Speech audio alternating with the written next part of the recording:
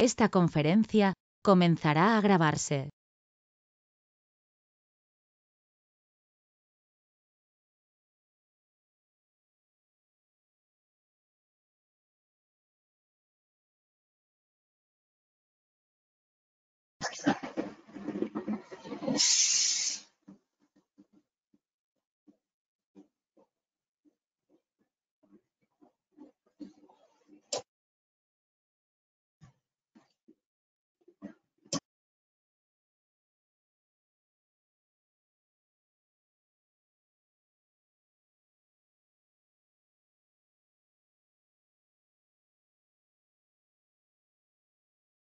Vamos a esperar dos minutitos más que termine la gente de unirse y arrancamos puntual. Buenos días para todos.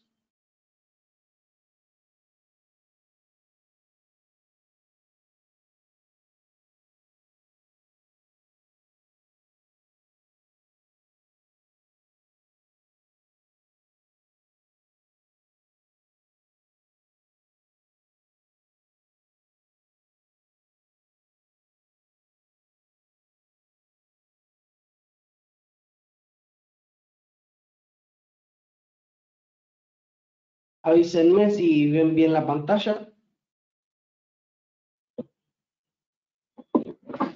Por chat, por favor. Perfecto. Bien. 10 puntos, entonces. En momentos nada más, vamos a inicializar.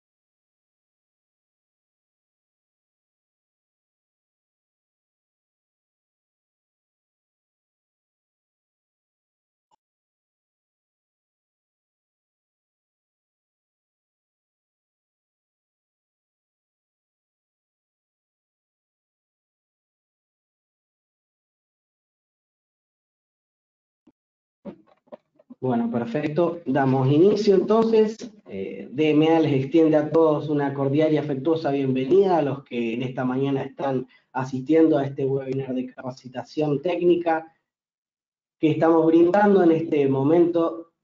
Vamos a ver, vamos a tocar lo que es Conecta Alarm, que es la aplicación para poder controlar de forma remota, recibir eventos a distancia en el celular, en la aplicación, ya sea Android o iOS, esta aplicación nos va a permitir integrarnos con el panel y poder controlarlo y recibir notificaciones push en el momento instantáneo que ocurre el evento.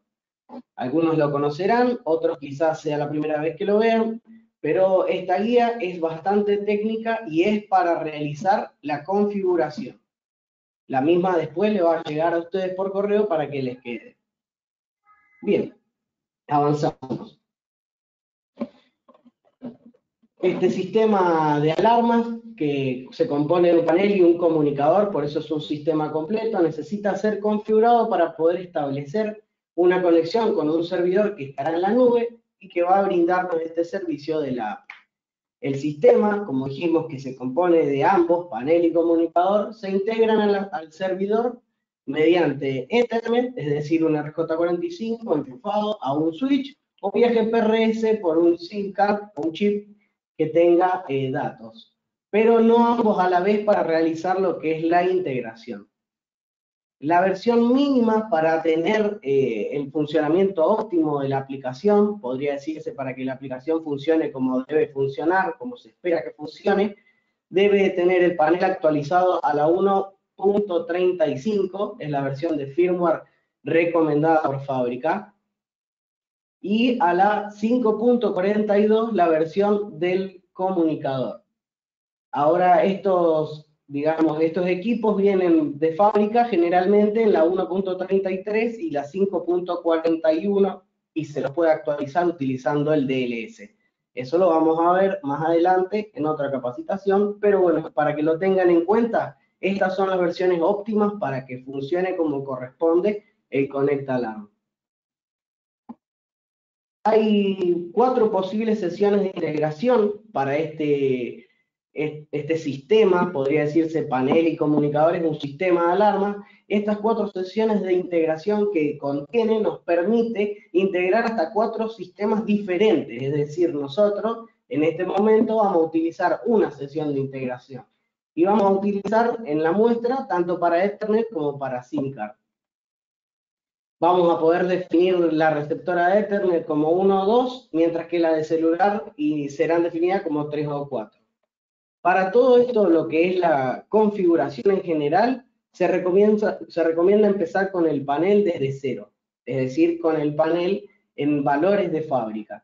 Para eso se puede hacer, como todos saben, de la manera dura, con el jumper, o como se puede hacer, como dice pantalla, haciendo el código de programación, asterisco 8, código de instalador, 999, código de instalador y otra vez 999. Esto dará un reset general al panel. También podemos hacerlo con el comunicador vía teclado, como se indica en la línea que sigue, con 993.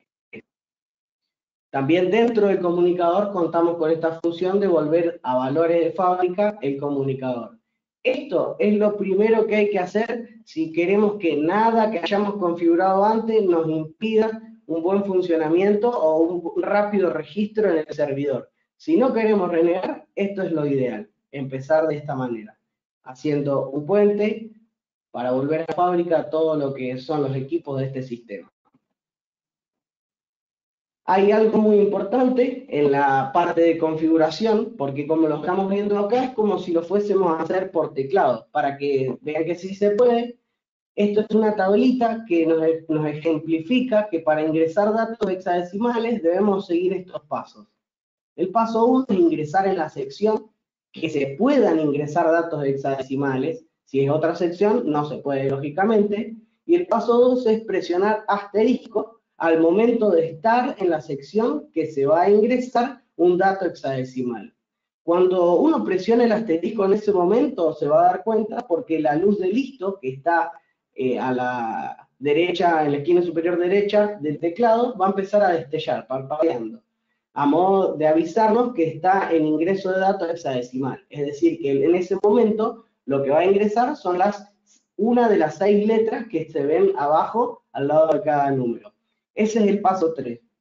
Ingresar los datos hexadecimales necesarios. Por ejemplo, suponiendo que tengamos que poner un puerto que sea 10C4, entonces tendríamos que poner 1, 0, asterisco, 3, asterisco para salir de datos hexadecimales, 4. Esa sería la forma correcta de ingresar un dato hexadecimal cambiando el modo de ingreso del teclado a hexadecimal, presionando el asterisco al momento de estar parado sobre el, campo a modificar.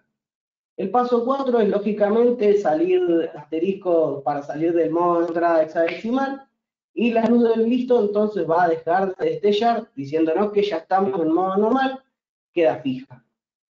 En los teclados alfanuméricos eh, se utilizan para ingresar las APN o los dominios del servidor, ya que hay que escribir eh, letras de nuestro carácter ASCII. Para ingresar punto, podemos ver que hay una forma fácil, eh, es ingresar justamente en este menú, que se ingresa cuando se está en el campo que se va a completar, hay que entrar en este modo ASCII, que se utiliza el asterisco, se selecciona con el cursor, y luego se va a la dirección 046, que es la que nos va a traer el punto en caso de que tengamos que poner, por ejemplo, un servidor o una dirección de un DNS o una dirección IP, lo que sea. Bien, esto es lo que consta para el teclado, que es la parte de eh, configuración manual de datos hexadecimales. Por ejemplo, los puertos son algunos de los datos hexadecimales que vamos a cambiar. Esta sería la primera parte de lo que hay que hacer la configuración de panel para poder hacer que el panel y el comunicador trabajen en conjunto. Lo primero que hay que hacer es habilitar el PC-Link 2 de la placa. En 382.005 esta opción nos permitirá habilitar o deshabilitar el intercambio de datos por medio del PC-Link 2. Cuando uno habilita el PC-Link 2, ahí 382.005 lo pone en 10, automáticamente va a aparecer una falla diciéndote que no hay nada conectado si no está conectado al comunicador. En ese lugar va conectado el comunicador alterno, ya sea un 3G2080, un TL280 o un TL280 3G. Siempre va conectado al PC-Link 2. Una vez que tengamos esto hecho, ya hemos enlazado el panel con el comunicador. Pero ahora tenemos que decirle al panel cómo queremos que utilice este comunicador. Porque, por ejemplo, podremos tener el caso de que en algún lugar utilicen línea fija y que entonces la primera cadena de, eventos la envíe por línea fija. Pero en este caso, como tenemos un panel con valores de fábrica, lo que vamos a hacer es utilizar el comunicador para realizar la comunicación. ¿Cómo se hace esto?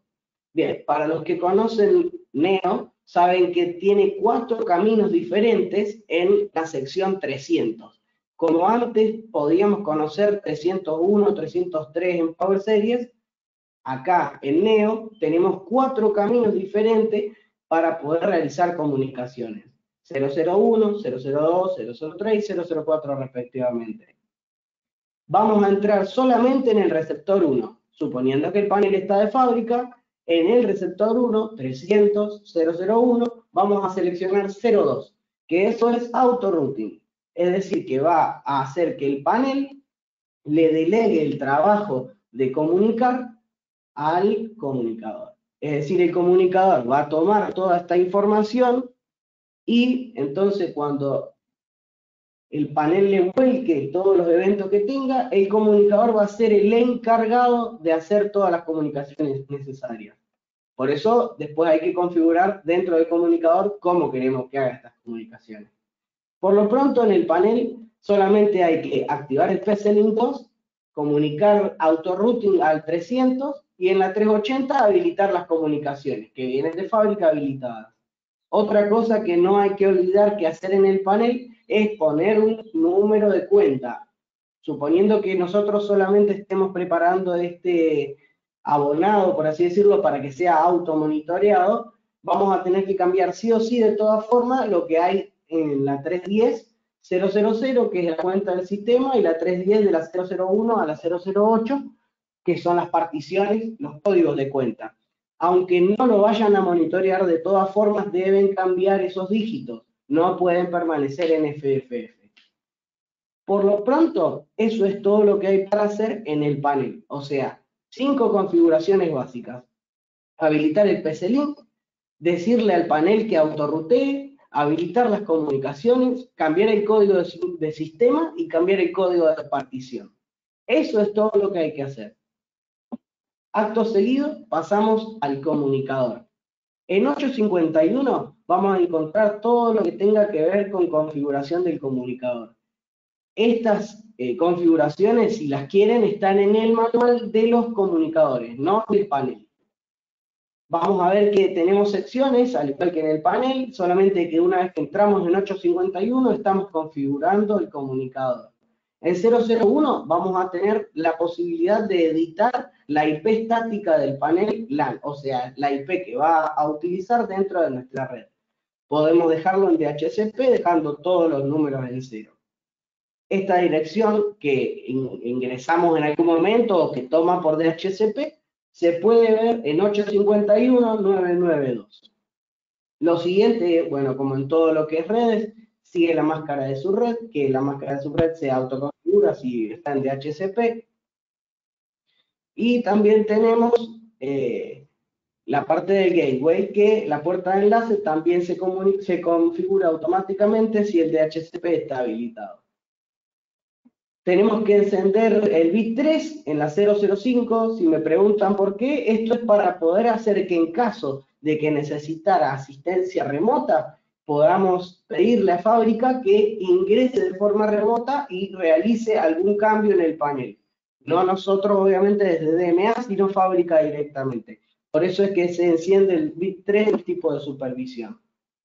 Después vamos a ver que también tenemos para configurar DNS estáticos, que generalmente cuando ustedes ven hacer alguna configuración, allí ponemos los de Google como para estar certeros.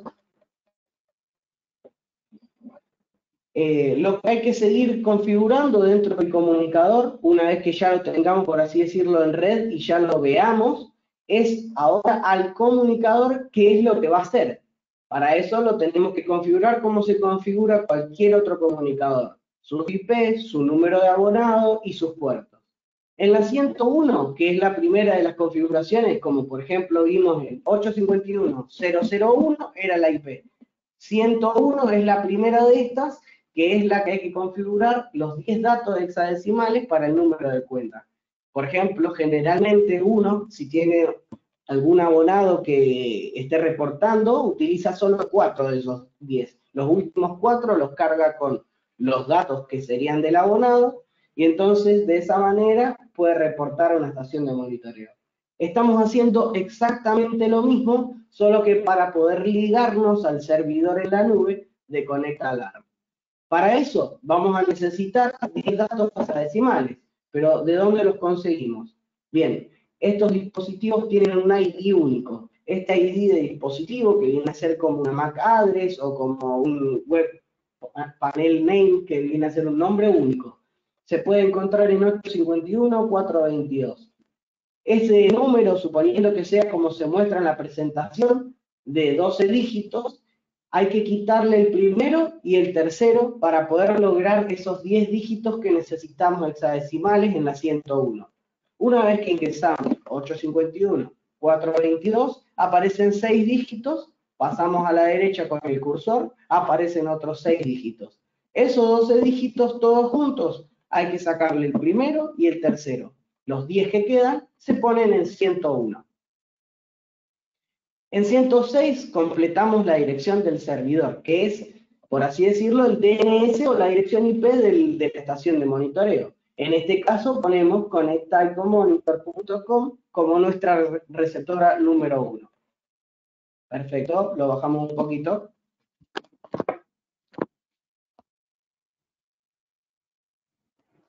Bien. Díganme si me escuchan bien ahora. Me avisaron que estaba acoplando. Va, saturando. Este, quedamos entonces en la dirección del servidor, que era lo que habíamos cargado como receptora número 1. 101, 106 y ahora 104. Son todas dentro de 851 opciones del comunicador. 104 es el lugar donde vamos a poner el puerto remoto, es decir, a dónde estamos apuntando nuestro comunicador. En caso de que sea Ethernet, el puerto es el que viene por defecto. 3061 en números decimales. Pero si estamos haciendo esta configuración por teclado, tenemos que ingresar 0, B larga, F5. Hacemos esto justamente siguiendo la tablita que habíamos visto en la segunda página de, la presentación. Ah, vamos a ver que tenemos la letra B en el número 2 y la F en el número 6, siempre y cuando entremos en modo hexadecimal. En 425 vamos a seleccionar lo que sería el tipo de integración. Si lo hacen por DLS es mucho más simple de entender, pero en este caso lo que vamos a hacer es encender el bit 3, que significa integración por Ethernet, y el bit 5, que significa protocolo de integración, este mismo es el Fibro, sería el protocolo eh, de DSC. En 426 vamos a habilitar las notificaciones en tiempo real. Esto va a hacer que eh, al momento del evento pueda el servidor ejecutar una notificación push en el aplicativo del celular. Si no habilitamos esto, no vamos a tener notificaciones push. Es decir, vamos a poder ver los disparos recientes, probablemente podamos armar, pero no nos va a notificar cuando haya algún evento en el momento que, que sea el evento. Probablemente lo veamos en el historial pero si no habilitamos en 426 el bit 3, no vamos a recibir push. Hasta ahí estamos bien. En 431 es la parte de la integración, por eso empieza con 400 y la parte de, lo que configuramos de reporte empieza con un 100, 101, 106 y 104. Cuando hablamos de integración pasamos a 400. En este caso estamos ahora ingresando la URL que va a realizar la integración entre el dispositivo que nosotros tenemos en la mano, la nube y el sistema de alarmas. Para eso le tenemos que decir al sistema de alarmas que la integración la va a realizar contra el DNS connect.taicomonitor.com. Una vez que tengamos esto seteado, nos falta el puerto de notificación de la integración, el cual se utiliza para que el servidor notifique al panel en caso de que pase algo o viceversa, porque justamente esto lo que hace es ir levantando información del panel y preguntándole al panel si algo cambió. En la 429, para lo que es Ethernet, el puerto es 0517 ingresado en datos hexadecimal o 1303 ingresado en datos decimales. Esto hablando si lo hacemos por DLS. Vamos a ver además que este puerto de notificación de integración lo vamos a necesitar que esté despejado en caso de tener algún microtic o algún eh, ruteador que nos esté limitando el tráfico contra Internet. Como vimos en el slide anterior, también tenemos un DNS estático para configurar como backup del estático 1, que nosotros generalmente utilizamos los de Google. Bien, similar a la parte que hicimos la configuración de Ethernet 1, tenemos que hacer para el Ethernet, para el celular 1. Es decir, en la parte que configuramos el panel, para el celular vamos a hacer exactamente lo mismo. Los cinco pasos primeros para enlazar el panel con el comunicador. 382, habilitamos el PCLI en la opción 5. En la 380, en la opción 1, habilitamos las comunicaciones. En la 300, en el camino 001, habilitamos el auto-routing. En la 310 y en la 310 de la 01 a la 08 también tenemos que completar el código de cuenta para que no permanezca en FFF. Bien, atención que acá es donde cambia la cosa. ¿Por qué? Porque esto que estamos configurando ahora es para que haga el registro desde la SIM card. Es decir, ya no estamos directamente linkeando con eh, un switch, sino que lo estamos haciendo a través de datos GPRS del chip tenemos que hacer la configuración en la receptora de 851, pero esta vez, como es celular, empieza con 200. En 206 vamos a ingresar la URL del servidor en la nube. En 204 ingresamos el puerto remoto, similar a la 104 y a la 106 del Ethernet, pero con 200 vamos a ingresar el puerto remoto que en este caso sí se modifica el que viene de fábrica, que es 0BF5, lo cambiamos a 0BF6 en hexadecimal desde el teclado y nos quedaría 3062 en números decimales si es que tienen que abrir algún puerto. En la 205 ingresaremos el APN que va a utilizar esta, este aplicativo, es decir, el chip que tenemos conectado, puesto en el, en el carry del comunicador, tenemos que saber qué APN justamente está utilizando y tenemos que cargarlo. No solamente aquí, ya lo vamos a ver más adelante, pero aquí también hay que ingresar el APN. Eh, en la 424 hay que escribir la etiqueta NeoGo, que es un código que utiliza el servidor para saber que ese mensaje que le está entrando es para realizar una tarea específica, que es justamente, en caso de que el panel se desconecte, volver a conectarlo. Esa etiqueta NeoGo es como un código que necesita el servidor cuando lo va a recibir, que esté escrito en el comunicador para que lo pueda leer. Entonces, vamos a ingresar en 424, vamos a poner el teclado en modo ASCII y vamos a ingresar NeoGo. Cualquier tipo de duda que tengan, apenas finalizamos la presentación, la solventamos toda. Por favor, anótensela, así no cortamos la cadena de información y no nos quedamos colgados después. vamos a hacer similar a lo que hicimos en el Ethernet, pero en el 425, en vez del 3, vamos a encender el bit 2. Y esto nos va a activar la integración por celular. Ese bit 2 lo que va a hacer es decirle al comunicador que la integración la va a realizar por medio de datos GPRS.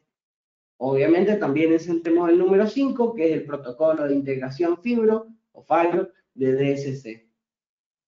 En 426, al igual que en el Ethernet, otra vez habilitamos las notificaciones en tiempo real para poder recibir las notificaciones push. 431, al igual que en, la integración con Ethernet, ingresamos el servidor, que es connect.typomonitor.com, el servidor al cual vamos a apuntar la integración. Y otra vez acá cambia el puerto con el que nos vamos a conectar.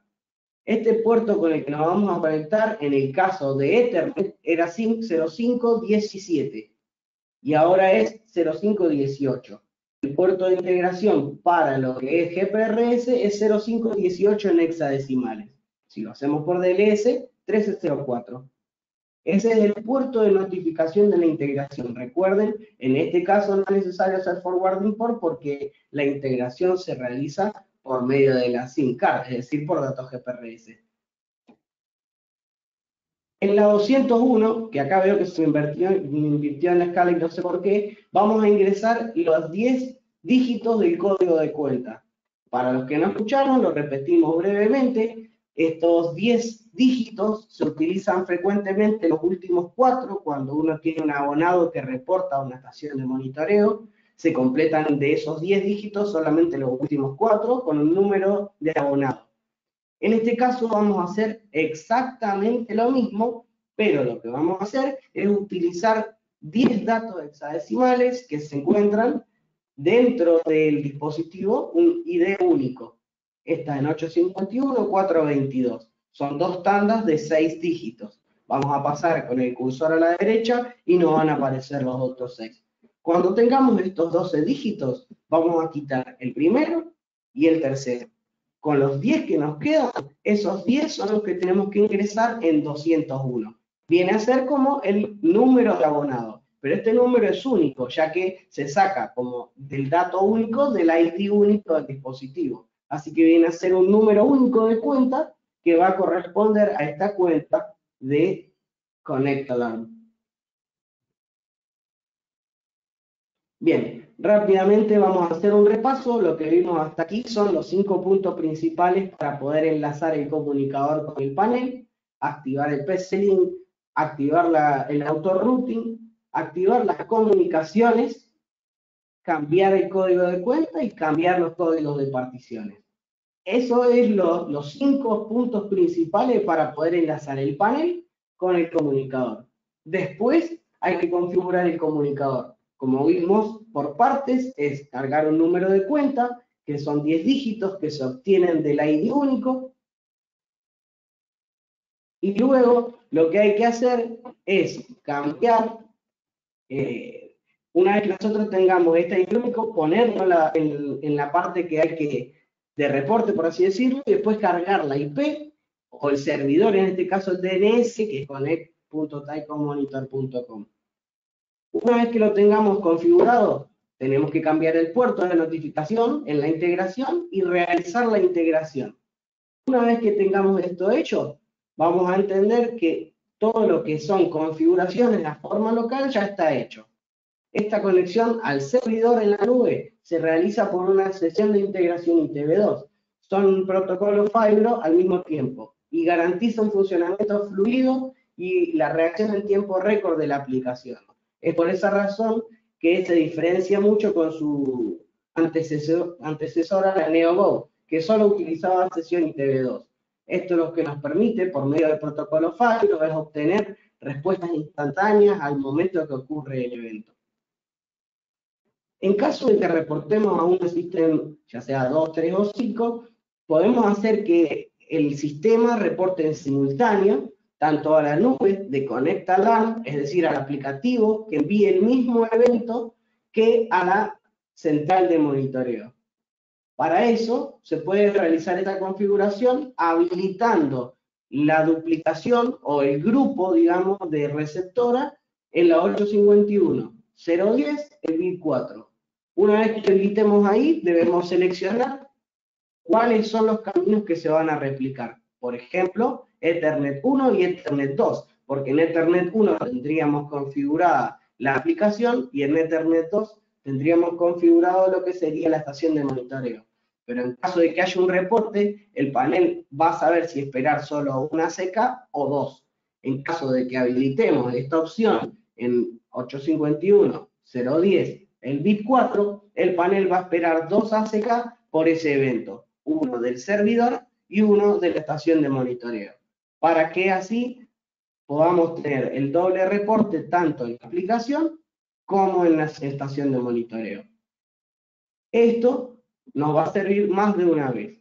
Para activar la recepción de videoverificación en la aplicación, también podemos hacerlo en caso de que nuestro panel Neo tenga algún PIRCAM, ya sea exterior o interior, y queramos recibir en el aplicativo y en la estación de monitoreo la videoverificación, también lo vamos a poder hacer. Hay que configurarlo, hay que dar de alta la videoverificación, ya que esta viene de fábrica eh, en valores, digamos, negativos, está todo deshabilitado lo que tenga que ver con la videoverificación y el video on demand. Ahí habilitaremos el bit 2 que habilita la video verificación y el bit 3 que habilita el video on demand. Es decir, que cuando hagamos alguna emergencia médica, desde el celular recibiremos los disparos de los PIR en el aplicativo y si está duplicada eh, la notificación, también en la central de monitoreo.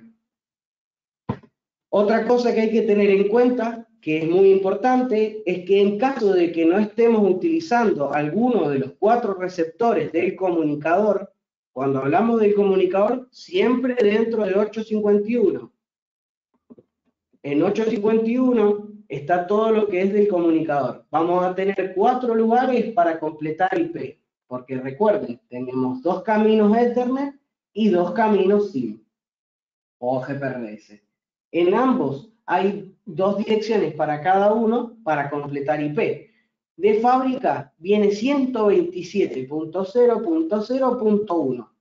En caso de que no vayamos a utilizar ni la 103, ni la 113 o la 203 y la 213, debemos ingresar y modificar esos valores por 0000, 0.0.0.0, para anular así que el comunicador esté testeando si esa comunicación funciona bien, porque el comunicador está constantemente eh, manteniendo conexión tanto con el servidor como con la estación de monitoreo, en caso de que esté testeando.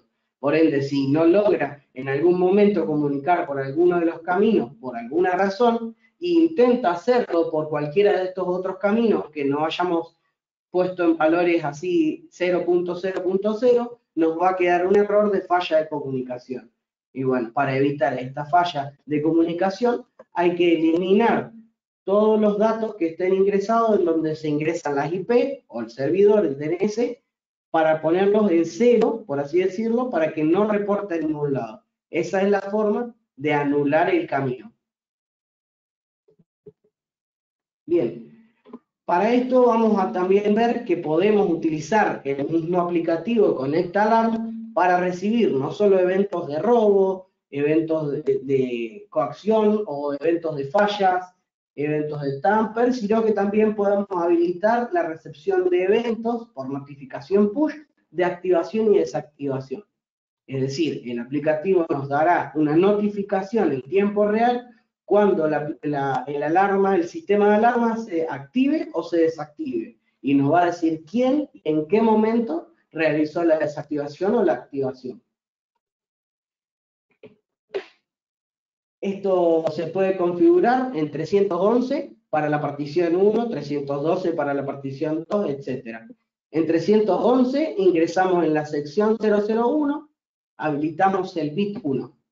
Eso va a hacer que reporte las aperturas y cierres de la partición 1. Lo mismo si queremos en todas las otras particiones, lógicamente, y en la sección 300, si configuramos receptores manualmente, deberemos hacerlo en 002, 003 o 004. Porque recuerden, 311.001 es el receptor 1, que en el panel, dentro de la 300, nosotros habíamos puesto como autorouting. Es decir, 300.001.02. Entonces acá lo que hacemos en ese lugar es habilitar el envío de eventos de apertura y cierre. Entonces, recordemos, si configuramos manualmente los receptores, tenemos que manualmente corregir el reporte de activación y desactivación en el panel. Cualquier duda con esto, después lo solventamos, no hay problema. Se puede activar el paso audible, como el 1832 también. De la misma manera, 015 el 2, habilitamos ese bit y entonces desde el aplicativo uno puede hacer sonar la sirena con el pánico. Justamente eso es una herramienta muy útil en el caso de alguien que le guste utilizarlo de esa manera, por eso es que lo pusimos acá. El código de acceso de integración es algo que no se modifica nunca. ¿Pero por qué lo puse acá? Porque vale la pena mencionarlo porque si tenemos algún comunicador que suponiendo lo retiramos de algún cliente o nos quedó en la oficina y estaba integrado con algún aplicativo, entonces ya no podemos tener acceso a ConnectAlarm. Bien, este código de integración es el que a nosotros nos va a facilitar eliminar la cuenta creada en el ConnectAlarm o en la nube de connect.taicomonitor.com, eliminar cualquier cuenta previamente creada para poder crearla nuevamente utilizando el ID del producto este que ya había sido activado. ¿Cómo se hace esto?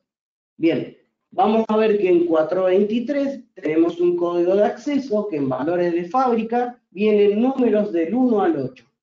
Si nosotros apagamos el equipo, eh, modificamos ese número, por ejemplo, ponemos todos 1, apagamos el equipo y lo volvemos a encender, cuando lo volvamos a encender, ese inicio en frío, el servidor va a identificar que este panel se le cambió este código y por ende va a eliminar la cuenta que estaba creada en la nube.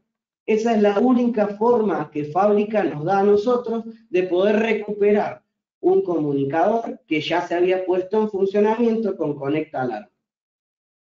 No los quiero enredar más, cualquier duda con esto me lo consultan después, no hay ningún problema. 851, 423, código de acceso de la integración. Una vez que realicemos todas las configuraciones del comunicador y del panel, hay que hacer un reinicio completo del sistema, pero no un reset a valores de fábrica, sino un reinicio de potencia, es decir, un inicio en frío de todo el equipo. Para eso hay que quitar la batería y reiniciar todo. Apagamos todo unos tres minutos, dejamos que todo quede ahí y vuelta a encender. Cuando volvamos a encender, lo que va a pasar es que los caminos que configuramos en la 851, la integración que configuramos en la 400 de la 851, todo esto va a tratar de levantar y enlazar conexión con el servidor. Este servidor lo que va a hacer es decir, ah, a vos no te conozco, pero ya lo va a ver online. Para eso sirve el arranque en frío, para poder poner en contacto el servidor con el panel. Una vez que nosotros apaguemos el equipo después de configurado y lo iniciemos, el servidor mismo va a estar tratando de levantar la información que está en el panel, pero no lo va a poder hacer hasta que nosotros activemos el panel en el servidor. Sin embargo, es menester que el servidor vea online el panel para poder realizar todo este proceso. Por eso si no logramos que esto ocurra con un reinicio frío, podemos hacerlo más de una vez, cuanta sea necesario, hasta que el servidor nos dé la posibilidad de activarlo. Ya nos vamos a dar cuenta cuando el panel lo vea online, porque el aplicativo de instalador, que es el que activa el panel, nos va a dejar la opción de activarlo. Bien, rápidamente vamos a ver dos slides que se los comparto en caso de que ustedes estén usando alguna sesión de integración con algún control de acceso. Suponiendo que ustedes estén usando la sección 1 con algún control de acceso, tienen los valores de la sección 2 o la sección 3 o la sección 4 de integración. Como pueden ver, siempre están arriba de 400. La última sesión nomás llega hasta los 500. Yo hice en los dos slides la integración utilizando la sesión 1, es decir, Ethernet, sesión 1 de integración, o celular, sesión 1 de integración. ¿Para qué? Para que podamos integrarlo de las dos maneras con la misma configuración, solo cambiando los puertos. Si la receptora IP, al igual que los caminos de integración, nosotros tenemos cuatro caminos de receptores. Si la receptora IP1 está siendo utilizado para otros propósitos, podemos usar la receptora 2, 3 o 4. Es decir, lo que pusimos la dirección IP en la 101, podemos hacerlo en la 111, que es el receiver 2 Ethernet, y lo que lo hicimos en el celular 1, si tenemos por la 201 reportando a una estación de monitoreo, en 211 también podemos hacer esta integración. Es para cómo cada uno de estos caminos se parece al otro, pero tenemos las direcciones explícitas acá en, en la presentación. Es importante ver esta parte porque es donde ingresamos el panel al servidor. Es decir, una vez que nosotros completamos la configuración, hacemos que el servidor se ponga en contacto con el panel, el panel logra contacto con el servidor, pero ahora hay que descargar un aplicativo que es de activador. Eh, antes de que el usuario final pueda utilizar la aplicación para usuario final, esta activación es necesaria en la nube. Para eso vamos a descargar y conectar Alarm Activator en la aplicación de Google Play Store o Apple Store. Instalaremos esta aplicación, iniciaremos la aplicación aceptando los términos y condiciones. En la pantalla de bienvenida vamos a ingresar la dirección a la cual realizamos la integración, realizamos el reporte de Conecta Alarm. Siempre es el mismo servidor connect.taicomonitor.com. Ingresaremos en eso y acto seguido nos va a pedir que nos registremos. La opción de registrarse se encuentra visible en la esquina inferior derecha. Dice registrar nuevo abonado. Ahí donde completamos nuestros datos, nos registramos, completamos los campos y iniciamos sesión. Una vez que iniciemos sesión, vamos a ver en la pantalla de nuestro celular un símbolo más dentro de un botón rojo. Ahí podremos añadir paneles y ese dispositivo que vamos a añadir ahora, vamos a ingresar el ID del panel completo. Hablamos que antes encontrábamos este ID único del dispositivo en 851.422, compuesto de 6 dígitos, pasamos a la derecha con el cursor y 6 dígitos más. En total, 12 eh, dígitos. Estos 12 dígitos vamos a ingresar completos en el campo que pusimos para añadir el panel nuevo. Una vez que seleccionamos este panel, nos va a pedir un código de autenticación. Este código es el código de instalador.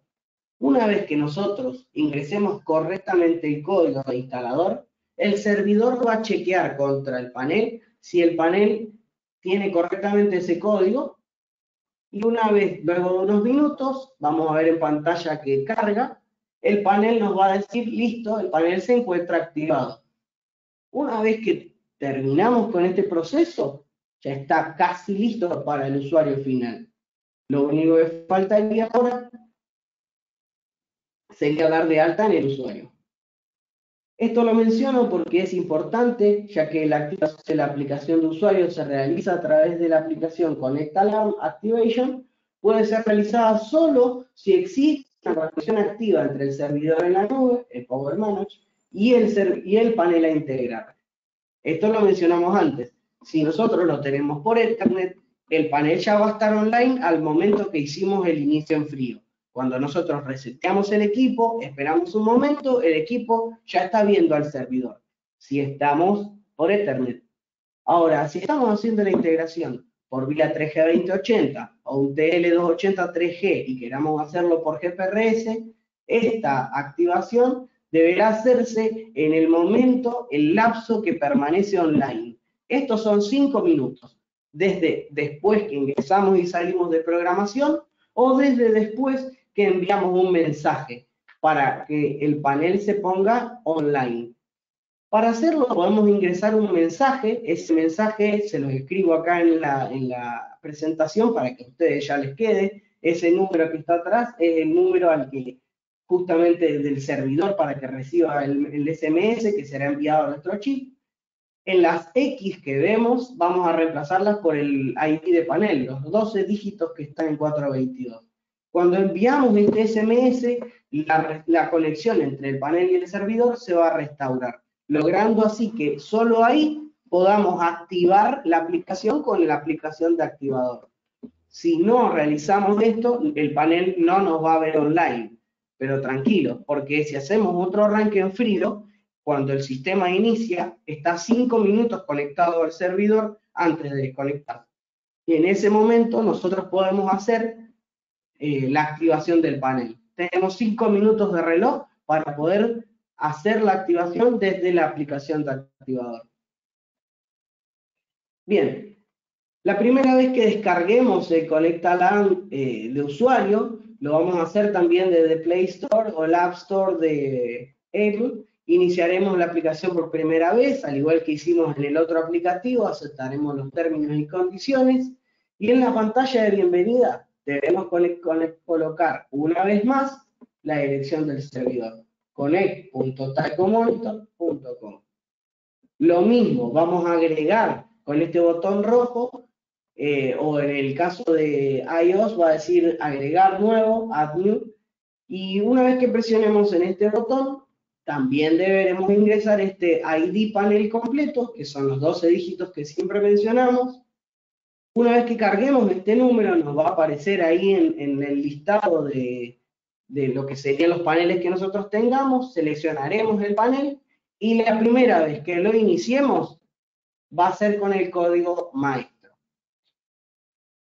Es importante remarcar que no se debe modificar la etiqueta maestro, usuario maestro, el user 1, en el caso del, del conectar ¿Por qué? Porque el user 1 en el panel, aunque le cambiemos el código, no la etiqueta, la etiqueta la utiliza el servidor para poder loguearse por primera vez. Una vez que ya esté dado de alta el Conecta uno puede modificar las etiquetas que quiera, los códigos que quiera. Pero si no está dado de alta todavía, necesitamos que la etiqueta del usuario 1, user 1, quede de fábrica, para que el servidor registre el panel y pueda rápidamente hacer un polling de todos los datos que tiene el panel hacia el servidor.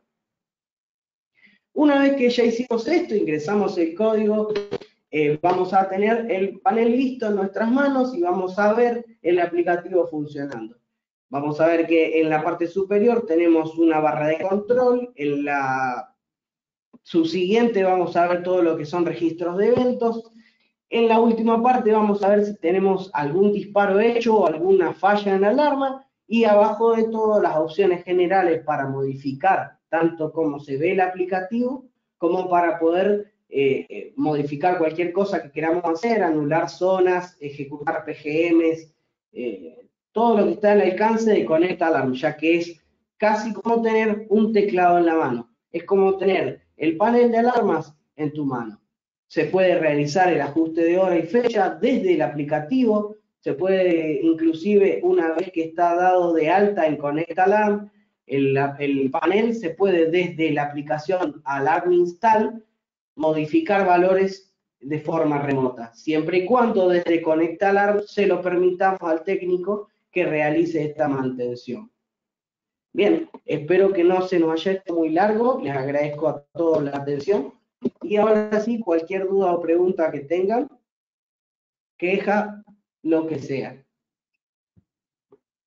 Bien, Juan me pregunta si el reinicio frío es obligatorio. Siempre es obligatorio el reinicio en frío, Juan. Es lo que nos permite que el panel vea online al servidor, al revés, que el servidor vea online al panel.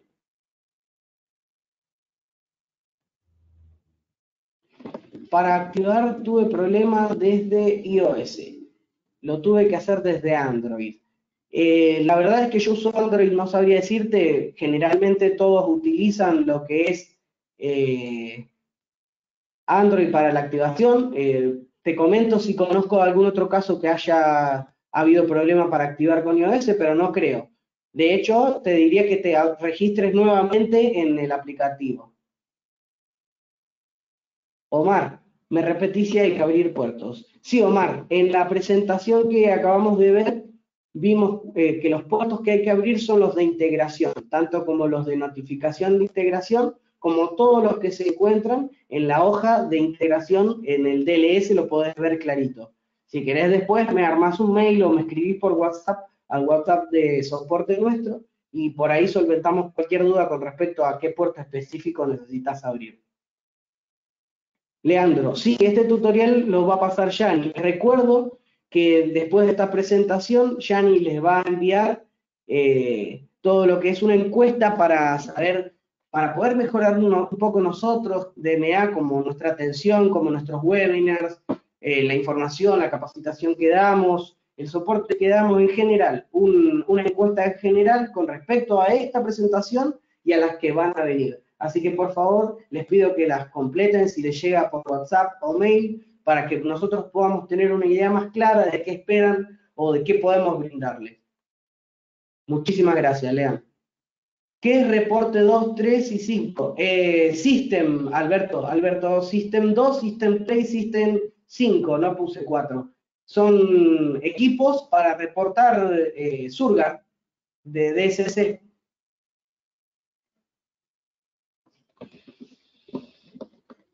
Eh, bien, Juan, esa es una buena pregunta. Las vías de comunicación con el backup de red y 3G para cargar 2 IP por vínculo. ¿Cómo es la metodología de comunicación? Bien, esto lo puedes hacer desde el panel o lo puedes hacer desde el comunicador que se vaya haciendo backup los caminos del comunicador junto, o sea, si falla el Ethernet, reporta por el segundo de Ethernet. Se cayó Internet, no puede salir por el segundo de Ethernet, empieza a reportar por GPRS. Todo eso se puede hacer vía DLS, esas configuraciones que si quieren, el próximo lo hacemos de DLS y mostramos rápidamente una configuración de comunicador y seguimos con otras configuraciones. Eso si lo completan en las encuestas, nosotros lo vamos a poder ver. Por favor, les pido que la completen. ¿Cómo armar para monitorear por línea?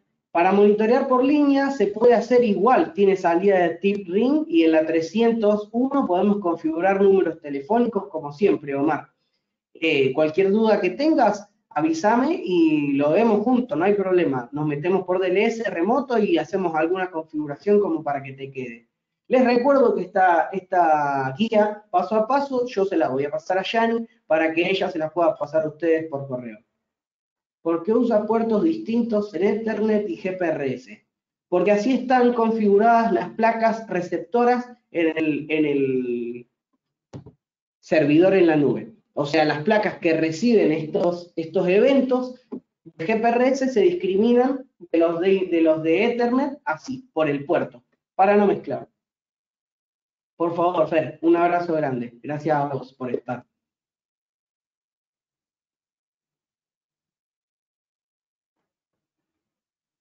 Iván, sí, tenemos configuración, decime de qué, te puedo pasar alguna plantilla.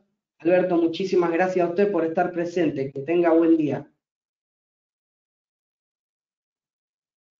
Gustavo, cualquier duda que tengas, no dudes en consultarnos. Te aseguro que una vez que empieces a trabajar con el equipo Neo y veas la velocidad de comunicación y lo fácil que es la configuración, no vas a volver atrás. Roberto, muchísimas gracias. Martín, muchísimas gracias. Un abrazo grande, Aldo, para vos también. Bueno, muchísimas gracias a todos. Eh, muy amables por haber estado presentes.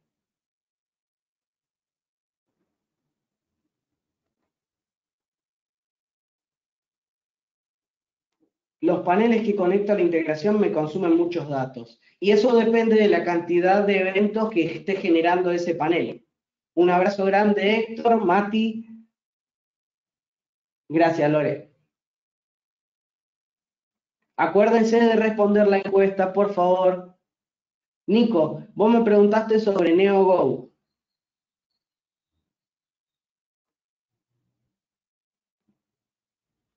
Eh, te pido que me escribas al WhatsApp, puede ser, porque me salen muchos mensajes y se me va hacia arriba. mandame un WhatsApp, Nicolás Forlano, al WhatsApp de técnica de soporte con la duda esta y la solventamos por ese lado.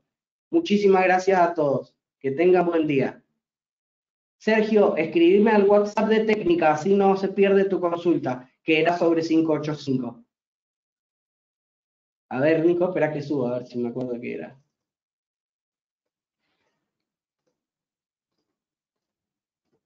No, no lo encuentro, chico. Lo vi, lo vi y subió ahora son muchos mensajes y no los veo. ¿Cómo es el número de WhatsApp de técnica? 03416634593. Ese es el número. Oh, esperen que lo puse para privado. 0341 63 34 593 es nuestro, nuestro WhatsApp. Ahí lo paso para todos. Un segundo que lo puse en un privado sin querer.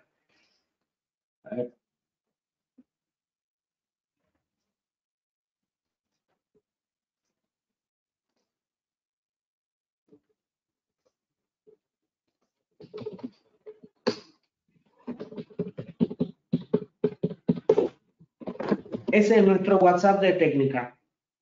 Claudio, gracias a usted por participar. Muchísimas gracias.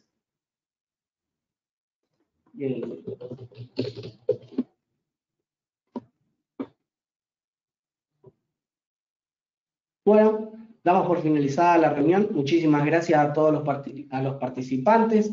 Cualquier duda que tengan, este webinar y la presentación se los vamos a enviar por correo a los que se hayan anotado con Yani y recuerden contestar la encuesta que Yani les va a mandar para que nosotros podamos darle a ustedes un mejor servicio o capacitaciones a lo mejor más concisas en, en cuanto a lo que ustedes necesitan. Un abrazo grande a todos y que tengan un muy buen día.